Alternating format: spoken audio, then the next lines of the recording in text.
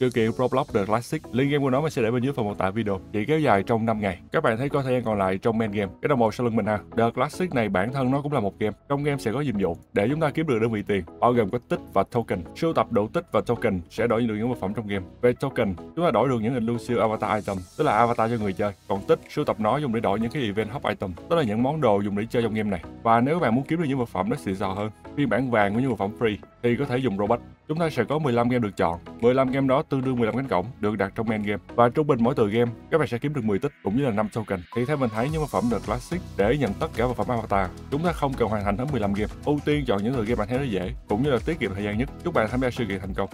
Mở đầu với từ game Bee Swarm Simulator. 10 tích từ game này chia làm 3 nơi. Nơi đầu tiên là map game. Bốn vị trí này những người mới chơi vẫn thể lấy được. Đó là bên khu vực kiến, bên chỗ cái lều, trên đỉnh cái nấm và phía nhà xanh.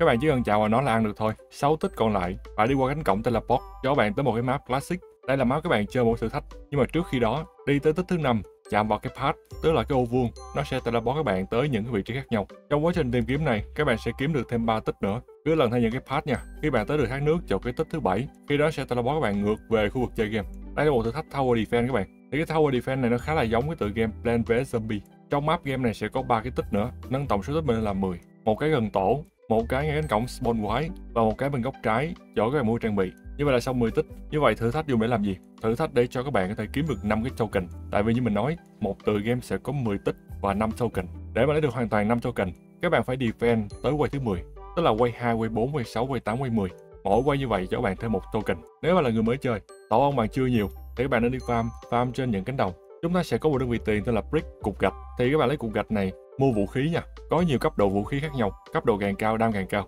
Những con quái ùa ra nó sẽ có máu. Còn nếu bạn là người chơi lâu và mình đề xuất các bạn nên chơi chung với một cái team có những người cấp độ mạnh. Ví dụ là full team 50 con cấp 16, 17, 18 nếu bạn chơi lâu chúng ta đi farm kiếm được cái brick. Tiêu diệt quái cũng có brick nè farm cây cũng có brick nè farm cánh đồng cũng có brick nè. Mình dùng cái brick đó để đổi trang bị. Trang bị mình là mua cái trứng nha mọi người. Mua cái trứng triệu hồi ra con ong. Những con ong trong tổ của mình. Quái từ tower defense cứ coi như là những quái bình thường, giống như là con nhện nè, con bò hung nè, ong càng mạnh farm càng nhanh. Và một điều đặc biệt là trong cái chế độ chơi này, các bạn sử dụng những cái bút, ok hết oil enzyme blue extract, red extract, tất tần tật một cái bút đều xài được trong chế độ thâu defense này hết. Nhớ nha, chinh phục được tới quay thứ 10 hoàn thành quay 10 khi đó bạn sẽ được 5 cái token trong từ game Beast Swarm Toilet Tower Defense cũng giống như Bee Swarm để kiếm được 10 cái tích thì chúng ta đi vòng vòng cái map lobby. Nó chỉ trong map lobby thôi tìm được cái tích tích chụp vào nó để ăn. Mình sẽ tua nhanh 10 vị trí những nơi chứa cái tích trong cái lobby của tựa game này. Các bạn theo dõi nhé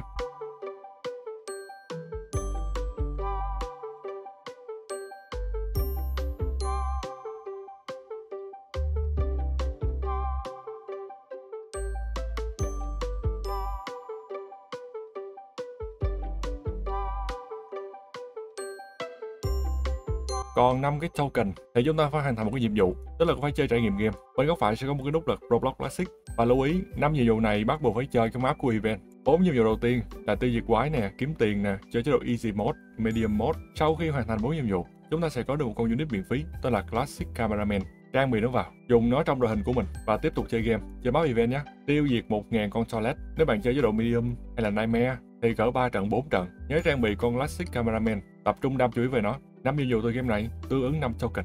Dragon Adventure, trước đây bạn từng chơi từ game này thì khá là dễ, còn nếu không hãy theo dõi hướng dẫn của mình.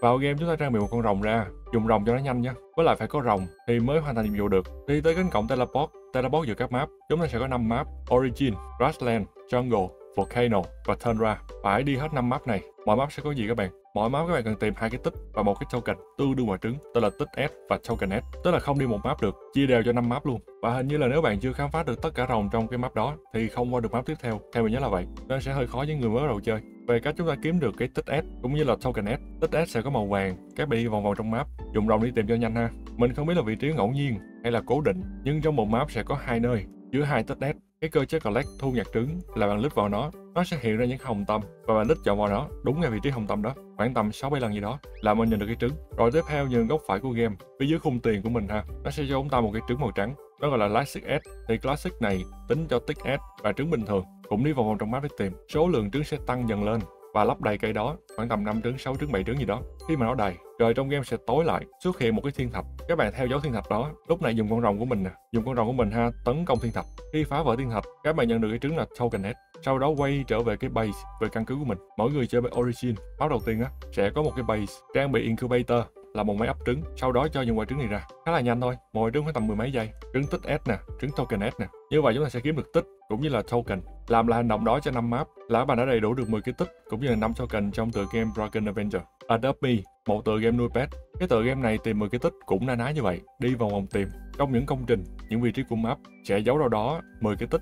Thì nói trước về token đi các bạn đi vào trung tâm, đi tới một nhà cây ha. Khu vực nhà cây, kế bên khu vực bán bánh pizza. Nói chuyện với NPC thì NPC sẽ cho các bạn một con pet, tên là con pet ấm trà. Các bạn trang bị cái bánh này ra, quan sát nhu cầu của nó, nằm ở màn hình phía trên ha. Ví dụ nó khát nước nè, đói bụng nè, buồn ngủ nè, cần đi đâu chơi nè, thì làm theo như vậy. Mỗi lần như vậy sẽ cho các bạn kinh nghiệm. Con bé ấm trà sẽ lớn dần lên, thì mỗi giai đoạn nó phát triển lên ấy, thì nó sẽ cho bạn một token. Các bạn nuôi chăm sóc nó tới khi nó trưởng thành hoàn toàn là được 5 token trong tựa game này. Quay lại với 10 cái tích 10 cái tích này nằm ở 10 công trình, bao gồm bệnh viện nè, nông trại, trạm chăm sóc. Cái này thì bạn đi khám phá trong map nha. Mình sẽ tua nhanh đoạn này và chú thích những cái nơi có chứa cái tích đó.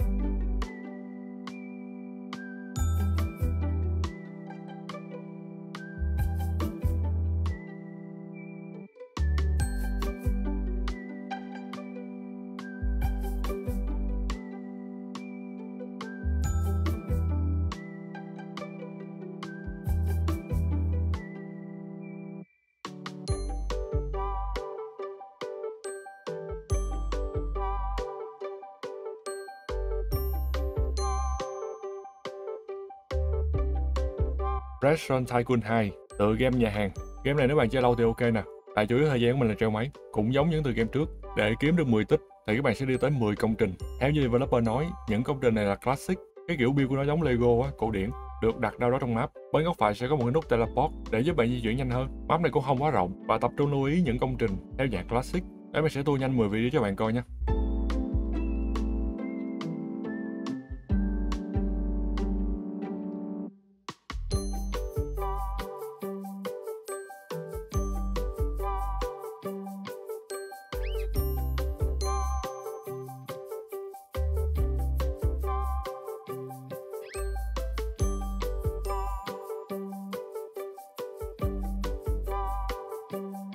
Sau đó quay trở lại với nhà hàng của mình để mà có được 5 token. Các bạn sẽ phục vụ 150, 150 vị khách Classic. Thì những vị khách này nhận diện khi họ vào nhà hàng của mình. Đến đầu của họ sẽ có một cái tag name tên là Classic. Theo dõi event bên góc trái có một nút event á.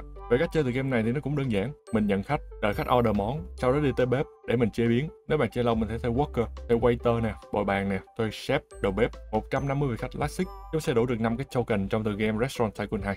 Rồi chúc bạn làm event vui vẻ. Hẹn gặp lại những video tiếp theo.